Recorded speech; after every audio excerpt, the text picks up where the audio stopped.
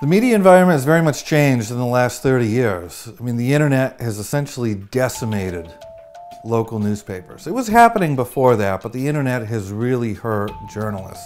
And this hurts our democracy because there are less journalists. We need more rather than less.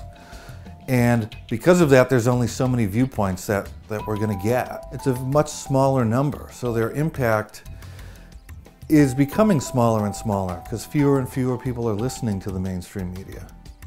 And a lot of people are turning instead to alternative news sources because they think they're getting tricked or hoodwinked by the mainstream media. They shouldn't do that.